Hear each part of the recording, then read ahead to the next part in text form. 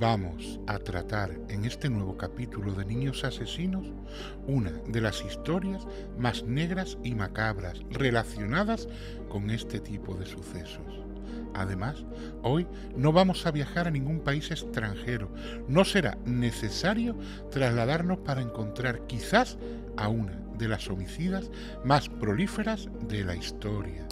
Una homicida que, a pesar de su corta edad y su aparente fragilidad, dejó tras de sí un reguero de muertes en el propio seno de su familia unas muertes que por desgracia tenían como objetivo a niños aún más pequeños que ella.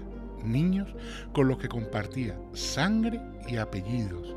Niños que eran sus propios hermanos. Estamos delante, tal vez, de la asesina en serie más joven de España. Siendo este un país poco dado a este tipo de sucesos, sorprende cómo una pequeña que comienza a despertar hacia la pubertad fue capaz de realizar tan horrendos crímenes.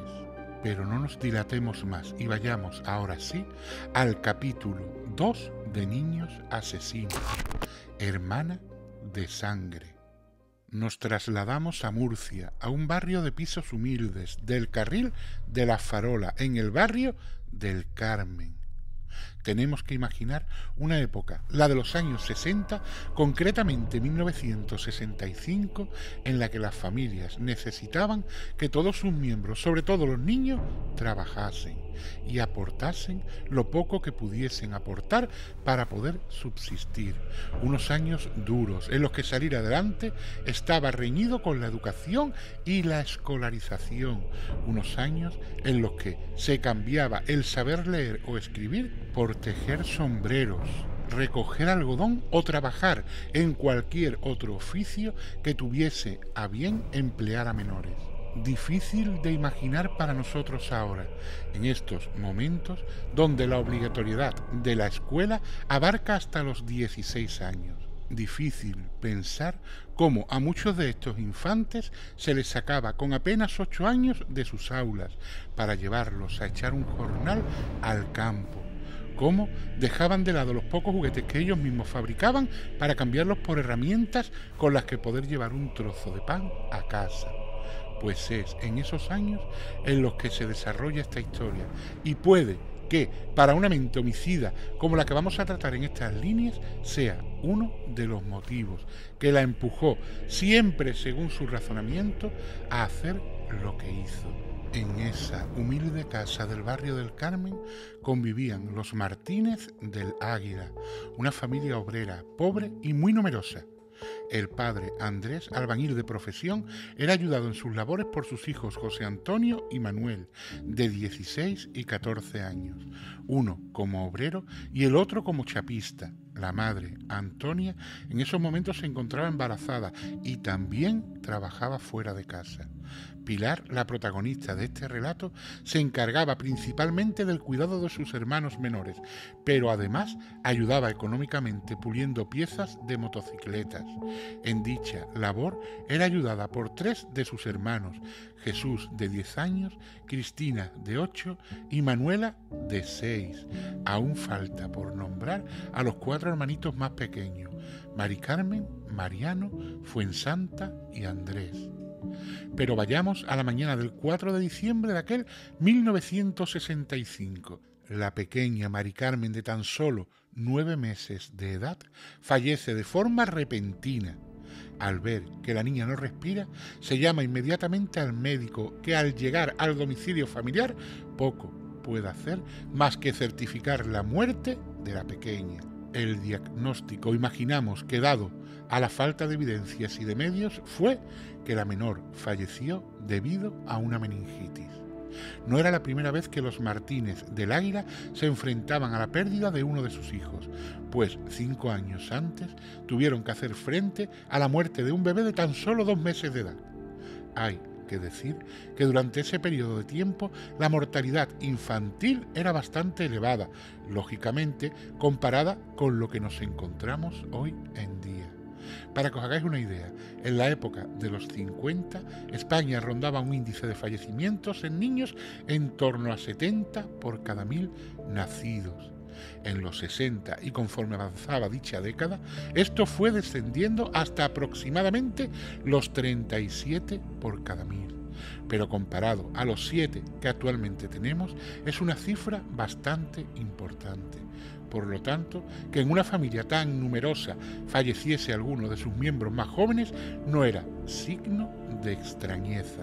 Lo que sí empezó a llamar la atención es que solo cinco días más tarde, concretamente el 9 de diciembre, Mariano, de dos años de edad, fallece también de forma repentina.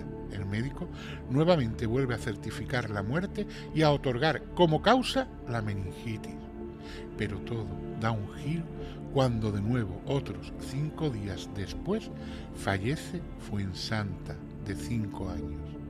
De la misma manera que sus otros hermanos, de forma espontánea y sin haber estado enferma, se vuelve a llamar al médico, pero éste se niega a firmar el parte de defunción, ya que ahora sí habían saltado todas las alarmas el doctor remitió en secreto a los juzgados y a la jefatura de sanidad lo que estaba sucediendo. Pero, ¿qué estaba sucediendo en realidad en el seno de esa familia para que, por orden ascendente, todos los hijos de la misma fueran falleciendo de forma repentina? ¿Era la meningitis la causa? La noticia saltó a los medios. El periódico La Verdad sacó una nota de prensa que hablaba de una extraña enfermedad contagiosa que estaba terminando con la vida de los miembros de una familia.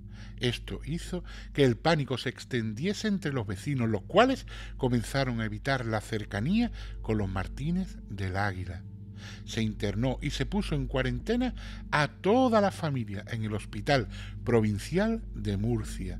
Había que averiguar qué estaba ocasionando dicha tragedia, qué estaba produciendo ese reguero de muertes inexplicables y que se cebaba con los más pequeños tras varios exámenes y pruebas en busca de virus o bacterias que les estuviesen afectando, sobre todo a los menores, se descartó que los miembros de la familia padeciesen ninguna enfermedad. No había nada a lo que achacar las muertes. Esto no evitó que el día 4 de enero de 1966 Andrés, de 5 años, también terminase falleciendo apenas un mes del primero de sus hermanos. Los síntomas, igual que de los otros, fue fiebre repentina muy elevada, manchas rojas, desmayo y convulsiones. Tras esto, se mandó muestras de tejido tanto del fallecido como de Fuensanta al Instituto Nacional de Salud, pruebas que arrojaron un resultado nuevamente negativo se procedió por orden judicial y como medida ya desesperada por encontrar la causa de estos sucesos a la exhumación de los tres menores que habían fallecido anteriormente. Y ahora sí, el análisis de los restos comenzó a arrojar algo de luz. En los mismos se encontraron dos sustancias que marcaron un antes y un después por un lado, teníamos el DDT, dicloro difenil tricloroetano, sustancia química hecha por el ser humano y que no se encuentra en el medio ambiente de forma natural, normalmente usado como plaguicida y actualmente prohibido. Y por otro, se halló cianuro potásico. Esto lo cambiaba todo. Ahora todo empezaba a cobrar algo de sentido. El motivo de las muertes no era algo natural, precisaba la intervención de una tercera persona, algunos de los miembros de dicha familia. Lógicamente, los primeros sospechosos fueron Andrés y Antonia, los padres. Toda España estaba siguiendo muy de cerca lo acontecido. Los periódicos de tirada nacional relataban los hechos casi a diario. Incluso hubo periodistas que consiguieron entrevistar a algunos de los hermanos y todos coincidían en lo mismo. Resaltaban la extraña actitud que tenía la pequeña Piedad, ya que siempre estaba sonriente y con una mirada pérfida. Los investigadores no tardaron mucho tiempo en poner el foco en ella. Descubrieron que, entre sus responsabilidades, contaba con la de hacer la comida para sus hermanos pequeños y además era la última persona que los había visto a todos con vida. Por otro lado, se supo que tenía acceso a las sustancias encontradas en los cadáveres, ya que uno de los productos que usaba para pulir las piezas de las motocicletas contenían en su composición el cianuro. Los investigadores no querían que Piedad supiese que era la principal sospechosa, así que uno de los agentes se llevó a la pequeña a tomar algo a una cafetería. Allí la invitó a un vaso de leche. El inspector, llegado el momento, sacó una bola de cianuro, el mismo producto que, como dijimos, usaba la pequeña para su trabajo. Este hizo como que la echaba en la leche que consumía la niña, la cual quitó rápidamente el vaso y advirtió al policía que no lo hiciese, que eso que intentaba hacer era peligroso ya que era veneno. Esto corroboró la sospecha. Piedad, con tan solo 12 años, era consciente de que ese producto era potencialmente venenoso, por lo tanto tenía conocimiento del mismo y de sus posibles usos para cometer un crimen. El agente aprovechó y decidió lanzarle una pregunta. ¿Crees que si lo consumes te haría tanto daño como a tus hermanos? A lo que la chica respondió con un rotundo sí. Parece que soltar ese primer sí hizo que la pequeña se sintiese liberada y comenzó a relatar. Yo los maté. Los tres primeros lo hice por orden de mi madre y el último fue por impulso propio. Relató cómo preparaba la mezcla para terminar con la vida de sus hermanos. Hacía bolas con el material de limpieza de las motocicletas y luego lo mezclaba con matarratas para terminar añadiendo la leche de la víctima elegida. Tras su ingesta, el pobre niño terminaba falleciendo media hora después envuelto en una gran agonía. Tras esta declaración, Antonia, la madre, que se encontraba en un estado avanzado de gestación, fue llevada al hospital y retenida allí.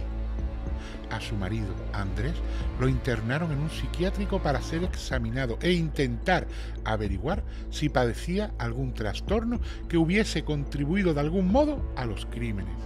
De la pequeña se sabe muy poco, pero se conoce que al principio también fue internada en un psiquiátrico, desde el que seguía culpando a su madre, llegando a dar hasta cinco versiones diferentes de lo ocurrido. Todas resultaron ser falsas, por lo que los investigadores siguieron con las pesquisas hasta poder demostrar que la menor había actuado de motu propio los padres pasaron un largo proceso hasta finalmente poder salir de la prisión provisional. En ese momento Piedad desaparece de la escena pública. Crónicas de la época dicen que fue llevada al monasterio para jóvenes descarriadas de Oblata de Murcia por orden del Tribunal Tutelar de Menores y que más tarde tomó los hábitos y se ordenó monja. Pero en realidad lo ocurrido con ella es un misterio no se sabe absolutamente nada de la niña envenenadora de Murcia. Se habla de que podía padecer el síndrome del cuidador quemado. Este se caracteriza por estrés, ansiedad, irritabilidad, insomnio, apatía, cefalea y un largo etcétera de síntomas que la menor, en su corto juicio y poca edad, creyó aliviar haciendo más llevadero su trabajo, quitando peso a sus responsabilidades, las cuales, sea de paso, cabe señalar que eran excesivas. La presión a la que la joven, que no hay que olvidar contaba tan solo con 12 años de edad, estaba sometida, le hicieron llegar a la conclusión en su mente, probablemente enferma, que con la desaparición de sus hermanos podría obtener algo de descanso para ella. El eliminar uno a uno a los miembros de su familia que estaban a su cargo le suponía un acto de liberación y un reposo en sus quehaceres diarios. Las decisiones que tomó la llevaron a convertirse en una de las asesinas en serie más jóvenes de la historia de España y entró a formar parte de ese círculo que alberga el peor de los temores, el miedo a que aquellos que tienen que cuidarte se conviertan en los monstruos que terminen con tu vida se han cumplido ya casi 59 años. De Piedad, que ahora mismo tendría 71, no se sabe absolutamente nada. Quizás ese mismo misterio que envuelve su paradero y su actual identidad hagan que todo este caso sea aún más tétrico y siniestro. Soy Triunarts. Buenas noches.